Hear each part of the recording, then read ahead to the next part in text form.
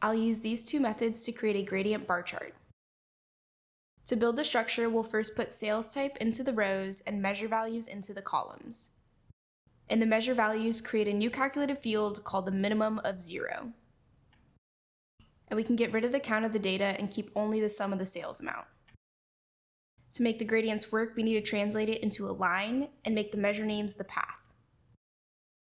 Then increase the size so that it looks like bars. I'll start with my favorite method, which is using measure names. Add measure names into the marks and change it from detail to color. Now we can edit the colors using the legend and choose two colors.